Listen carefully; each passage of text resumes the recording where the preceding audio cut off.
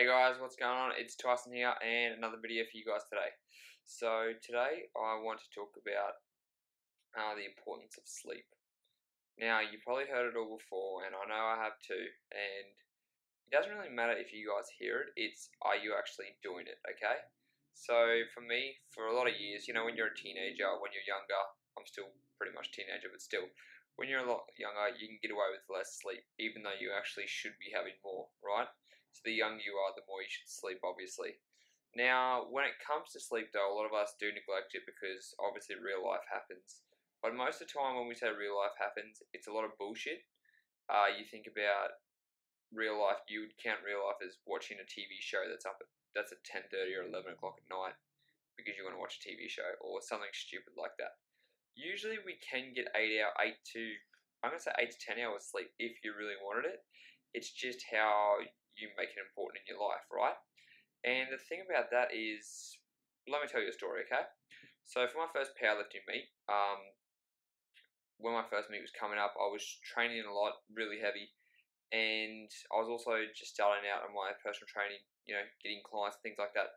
So I was working a lot, and I was extremely, extremely tired all the time. But I just kept, you know, like I'd go to work, I'd train, and then I'd go back to work. I'd personal training hours, you know, you work to ridiculous amounts of time at night wake up really early in the morning and get straight back into the gym, right? Because you have clients, that's going to be their peak time. And what happened is I was missing out on sleep. I think I was getting about five to six hours of sleep for the first couple of weeks. And then when I was heading closer and closer to my competition, I actually tried to incorporate sleep more. So I was actually taking naps throughout the day. I was just really prioritizing what was important in my life. So I started um, cutting out the night sessions a little bit, just just for the competition because I knew it was important and I started sleeping once. I was sleeping about nine hours a night, and then I was also taking a 20 minute nap during the day. Obviously, this everyone can't do that, but the point of the matter is, I made the best gains I ever made in my life, like strength wise, uh, feeling better, everything, just because I prioritized sleep, right? And I don't think I would have got my total as what I did if if I didn't actually prioritize it. Like I squatted uh, three plates beltless all these type of things just because my sleep was so much in order and I just felt fresh all the time. Now, that's what's happened to me, but I don't think it's going to be as applicable to you guys in real life, especially with your goals. But just not even in regards to your goals, just for your brain health, just for your body to recover, what I think we all need to do is focus on even if you can't sleep for let's say 8 to 10 hours a day, which is a lot, it's asking for a lot because when you have a look at the statistics and what they recommend, they say you need you need an adult needs between seven to eight hours of sleep a night. But that's just for a normal adult. That's not someone who's exercising. When you're exercising, your body needs to recover more. Your body needs obviously like it needs to adapt. It needs to adapt to the stress you're putting under the body. It needs to make sure it's making the right recovery. So you're gonna need to rest longer. So what I recommend for you guys is probably about seven to eight hours minimum, not just recommended. The more you can get, the better. And there's a couple of ways we can actually get the same type of benefits from sleeping, but not actually sleeping that long. So let's say you guys are only sleeping, let's say you're sleeping six to seven hours a day, okay? So that means you've got, let's say seven, let's say seven hours. So that means you've got what? That means you've got another 17 hours a day to do what you've got to do, right? Now let's say you're working and then you have a lunchtime break at your job and your lunch break's an hour. Well, you can fit in a 20 minute nap it, like what else do you do on your break? You sit down, you'll talk, you might sit in the smoker room, talk to some people, and eat your lunch. What if you spent 20 minutes of that time eating lunch, 20 minutes of the time trying to get to sleep, have a nap, and then you're awake back for work, or skip the lunch, uh, have a nap, and eat at your desk or something. There's that's one way you guys can implement it, or after your job, or three o'clock in the afternoon. You know, you might be a morning worker, six till three or seven till three, something like that have a nap in the afternoon before gym. That's one way you guys can do it. Another way is just, like I said, prioritizing your life. So, really do an audit of what you're actually making important. If you're, let's say, okay, let's say you work, uh, let's say you work normal nine to five job. So you wake up, you go to work, do what you got to do, then you go to the gym. Might get home it's about seven thirty. Eat something to eat, have a shower. Let's just say it's uh, let's say it's 9:30, 10 o'clock, all right. So what you can do there, you can go to bed and sleep for eight hours until about 5.30, 6 o'clock, depending on what time you go to bed. or you can do what you usually do and watch TV or scan, like you know, jump on the internet, watch Netflix, do all those types of things, stay up till like 11, 12, 1 o'clock, and then go, oh man, I gotta go to bed. Wake up at 6 o'clock and you wake up wondering why you're feeling tired. There's just things like these guys that you really need to think about. You know, what's gonna get you the best benefits?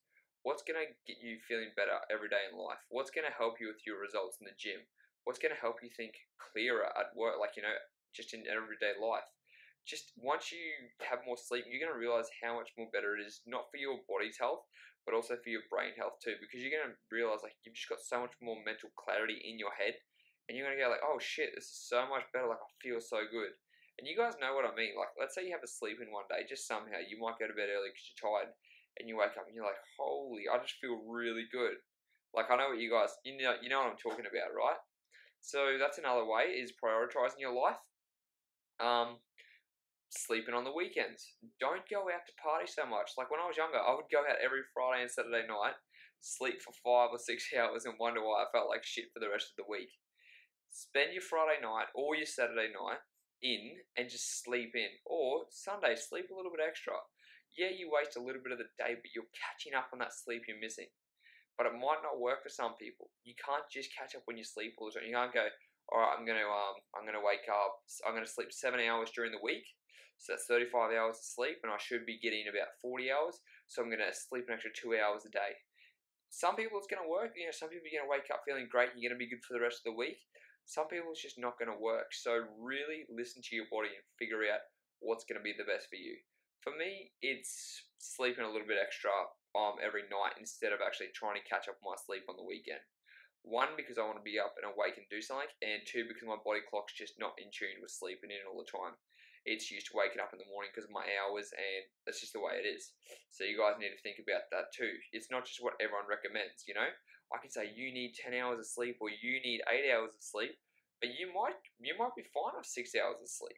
But this is what I'm just talking about, guys, actually getting the sleep you need. For me, 8 to 9 hours is really good. 9 hours is actually excellent for me. That's when I just feel like I'm top of the world and a gun. And I don't get nine hours much. I'll probably get eight and a half, or that's about it. Like, you know, I don't get much more than eight and a half, even though if I do get the nine on the weekend, it's I just feel so good for a long time. Now, a lot of the time is we can't get to sleep because obviously, you know, there's so much going on in our head. Uh, some of us might have insomnia, things like that.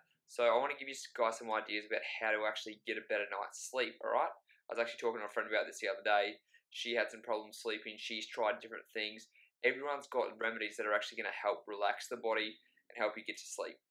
So the first thing I'm going to recommend is turn off all your electronics, your phone, everything, your computer, your TV, at least half an hour before you go to bed.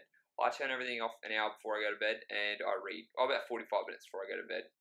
Um, I'll you know put my phone on silent. I'll put the airplane mode on. I'll do what I have to do to actually put it away, uh, turn it off, put it on charger, put it out of my uh, under my bed so I don't think about it. Uh, turn it off my computer, or you guys can use a cool program called f.lux, which will actually change the brightness on your computer if you've got a Mac. I'm not sure if it works with uh, Windows, but it helps change the uh, the light that's coming on your eyes, so it's a little bit less, especially when it's getting closer and closer to bedtime. It's going to be less on the eyes. Okay, that's another way you can do it. Um, so yeah, turning off your TV, just turning off electronics. A lot of people want to sleep, uh, watch TV before they go to bed, and they have the TV in the room. And then this is when you start getting crazy dreams where you can't sleep. All right. So number one is electronics off at least half an hour before bed.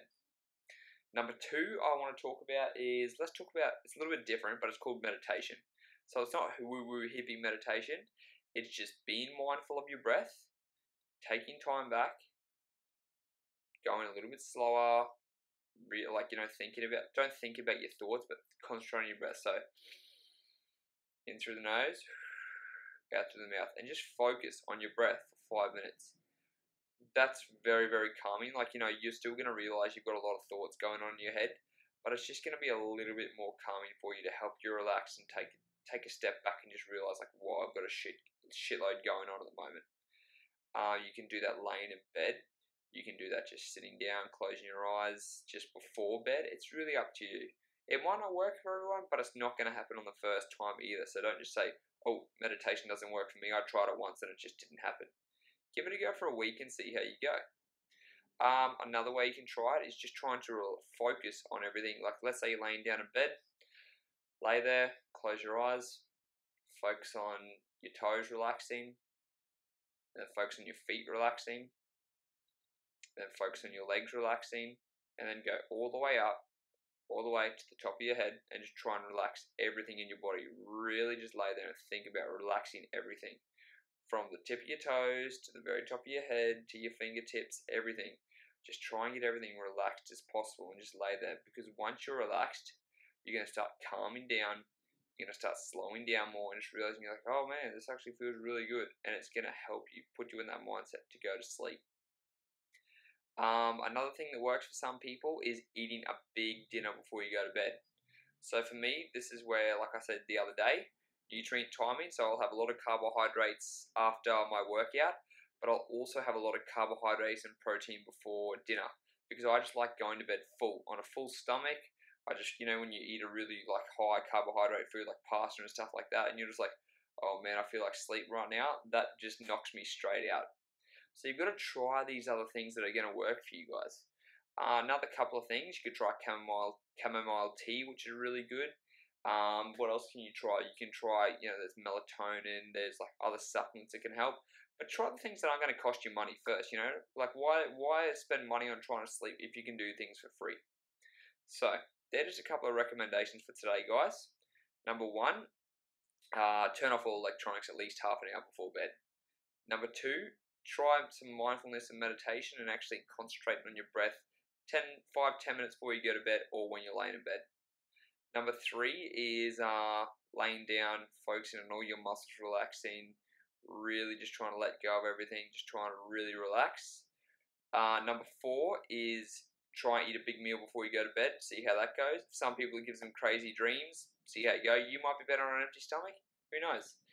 Number five, if all that fails, try your chamomile tea, try your melatonin, try some, some of those supplements that are supposed to help, magnesium. Um, try freezing cold shower. That's another idea people like having freezing cold ice baths and things like uh, things like that. I should tell you guys another quick story. So Tim Ferriss, um, not sure if you guys know this, but he uh, he's like a he's a he's, he likes to experiment with his body. He found out the best way for him to go to sleep is to have an ice bath half an hour before he goes to bed. Freezing cold ice bath, he'll jump in there for 10, 15 minutes, get out, you know, have a quick bite to eat, and he just said, boom, he's out. And that's how he found out what works best for him. So it's all about listening to your body, guys, and finding out what works best for you. But there's some tips you can use for today. Try and find out how long you're actually going to need to sleep and what's going to work best for your body. And you're going to notice you're going to be feeling better, you're going to be performing better. All areas of your life are going to be better if you focus on one of these main goals. So, get to sleep, see how you go, and I'll see you next time.